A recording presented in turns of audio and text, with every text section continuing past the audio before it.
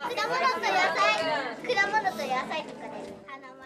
テントの中でさながらキャンプのような雰囲気を味わったり。できたイエーイ。イエーイ。木を使ったやじろべえ作りの体験コーナーに参加したり。親子連れで楽しめるイベントが先週の土曜、日曜に札幌市内で開かれました主催したのは滝川市の丸花高原で重い病気と闘う子どもたちを招くキャンプ場を運営している公益財団法人空プチキッズキャンプです。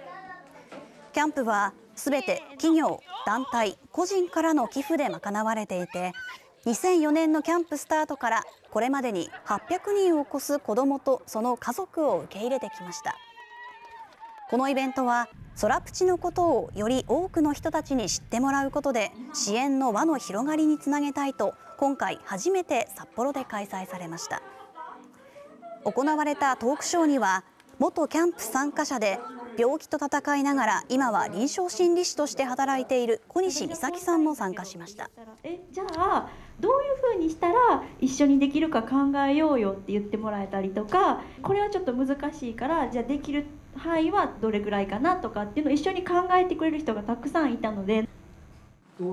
参加した人は熱心に聞き入っていました空プチが札幌で PR されることで、まあ、全道のみんなに届いて、えー、あ僕入院中だけど頑張ろうとかあこんな風に思ってくれてる人がいるんだっていうことをまずは伝えたいなと。